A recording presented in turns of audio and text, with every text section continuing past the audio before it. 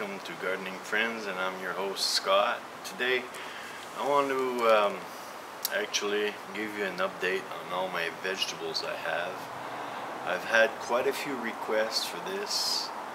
Um, some people want to know how this is doing and some others want to know how that is doing. So I decided to combine everything and make a video and I'm gonna show all my pots. Uh, my first shout out goes to the Randle Brown Memorial Seed Lending Library. Go say hi to Dana. She's a great gal and she'll answer a lot of your questions. And also, she might even be able to lend you some seeds. And trust me, they're all heirloom seeds, vegetables, fruits, all sorts of stuff. So join her group. It's pretty cool and uh, pretty cool and very interesting people there. So I'm there myself and uh, I try to help out once in a while. But if you need any kind of uh, uh any big advice in, in seeds of any sorts, Dana's your girl. So just go at the Randle Brown Memorial Seed Lending Library and ask to join the group and it shouldn't take long at all and she'll invite you right in. Okay, the second person I'd like to uh, give a shout out to there is my buddy Dave Stumpf. He has a channel on YouTube, uh, The Family Farmer. You should definitely check him out. And by the way, these links are all going to be in my description for, for the, the group and for Dave. These uh, links are going to be in my description, so definitely check them out. They're a-okay in my book. Um, that's it for the shoutouts. So here, let's take a look at all my updates and vegetables. This is the organic pickling cucumber that I planted four days ago and it already doubled and tripled in size. This is the uh, hydroponic, deep water hydroponic I was working on a few days ago. I made the video. Look at them. Okay, here's an update on my tomato plants.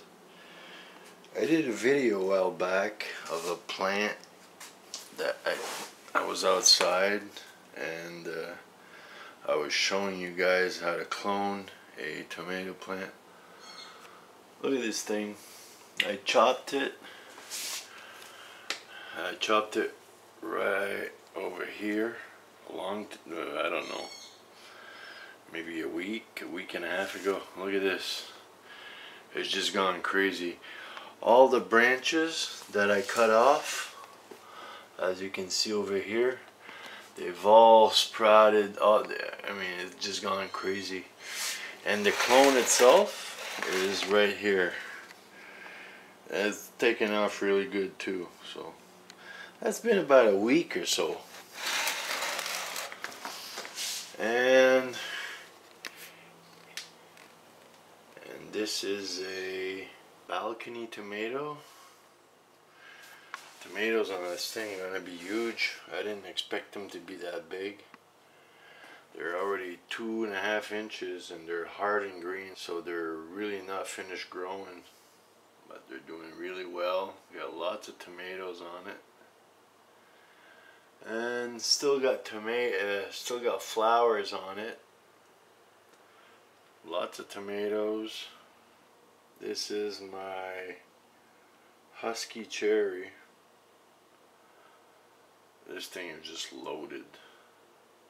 And it's still got flowers believe it or not so I'm gonna be eating a lot of tomatoes. Here's another one husky cherry they just they just do really wonderfully. I mean, I keep cutting them here at two feet and they just keep getting stockier and stockier. New flowers appear and uh, they're a great tomato I find for um, containers. That's perfect thing, I think. I think I like better the Husky Cherry then the balcony tomato plant. Balcony tomato plant seems to have about a dozen tomatoes on it and they're growing pretty big. But nowhere near this husky cherry. It's got probably 70 probably 75 tomatoes on it. And here's another one. They're all doing really well. And here's another balcony tomato plant. This one's only in a one gallon pot. It's really small, but it's doing fantastic. It's got lots of big tomatoes. And uh, throughout, it's just got tomatoes all over the place. So my tomatoes are doing really, really great. And if we look at the foliage, I mean, it's just really nice and green, dark, really healthy. So healthy, matter of fact, I have to trim him once or twice a week because I really don't want to lose control. Because I, I'm actually growing him inside my balcony, right in front of the window, as you can see. The squirrels love my tomatoes too much, so uh, they're at the stage where I gotta keep him inside because I'm gonna start losing my tomatoes to the squirrel if I don't. So yeah, they're doing wonderfully. These are just little clones right here. They're just little clones I started a couple days ago. They're a little bit limp, but they'll come they'll come around. They'll come around. They just need a little more time. Okay, that was my tomatoes. Okay, remember um, I did a video on all the the hottest peppers in the world. I planted like 10 varieties. Well, this is one of them, and that's a brain strain. And look how big it is. So that's one of them. Let me show you the others. Okay, this is a Jamaican hot, doing really well. Um, that was planted from seeds. And I have probably a half a dozen of these. I have a few of them that are given away. Um, but they're also doing really, really well. See how the foliage is really nice and green. Uh, it's almost due to be transplanted into a bigger pot. This is garlic I planted um, two, three weeks ago. Look how fast it's growing. Doing really well. I have three or four pots of these. Doing really good. Okay, this is another request I had.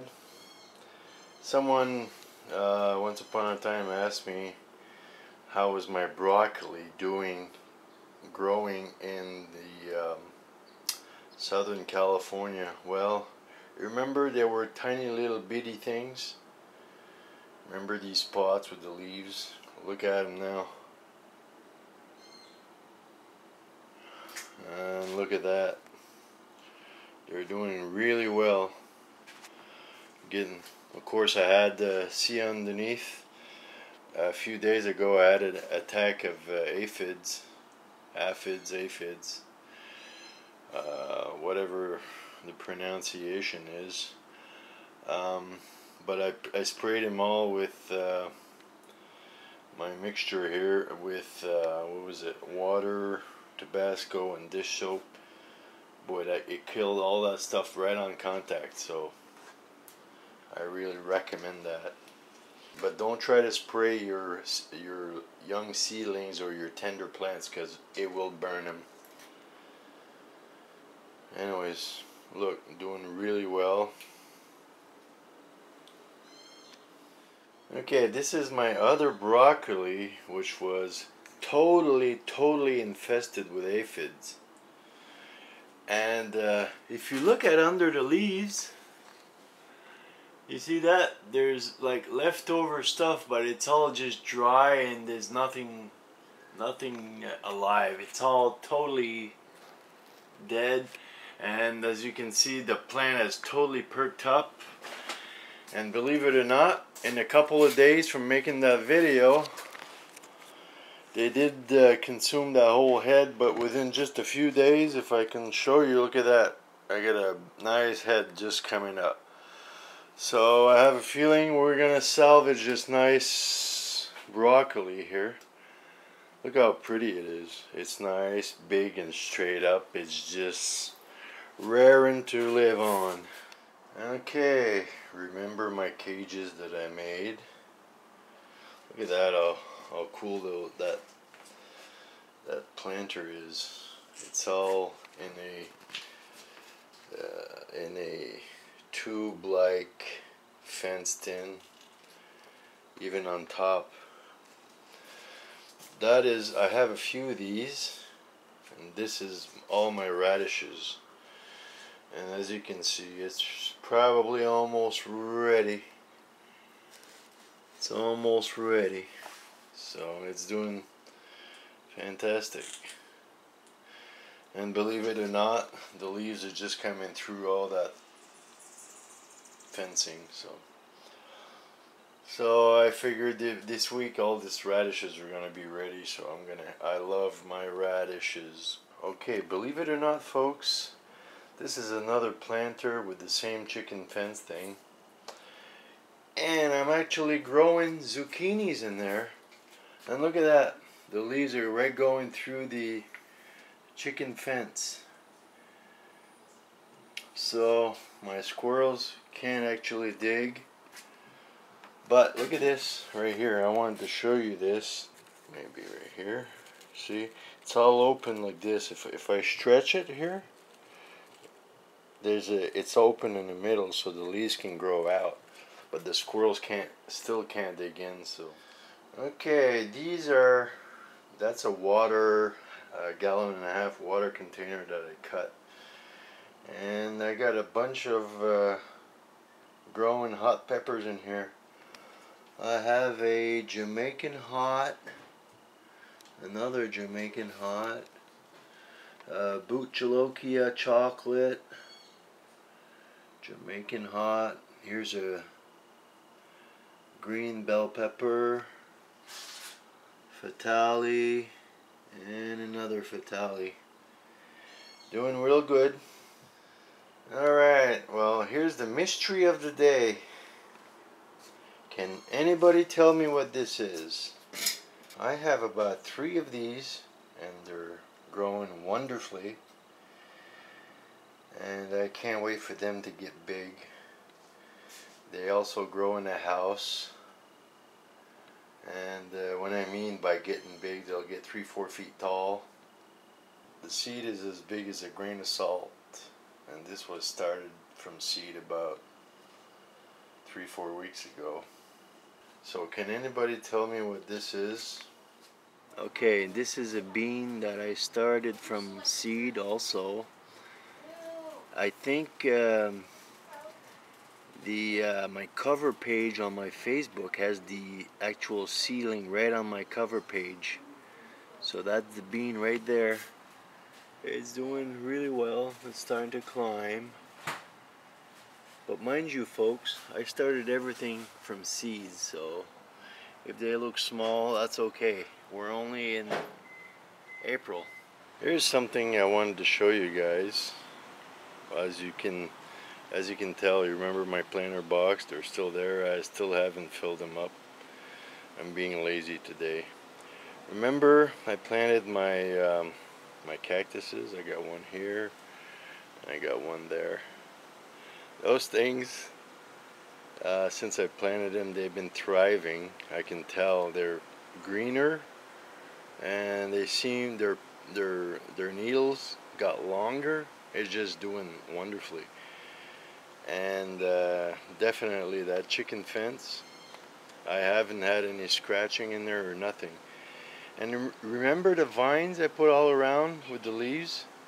It all dried up and I got myself a, a crown right around the chicken fence which holds the chicken fence right in place.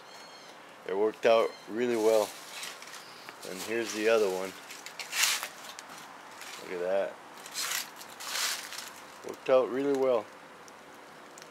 Yeah, I believe these guys have grown in, in a week. they got, I don't know. It's if they're greener and their, their needles are got actually longer, I can tell. So. Okay, and these guys, well, this week I'll definitely put something in them. Well, guys, thanks for watching. This is Gardening Friends, and I was your host.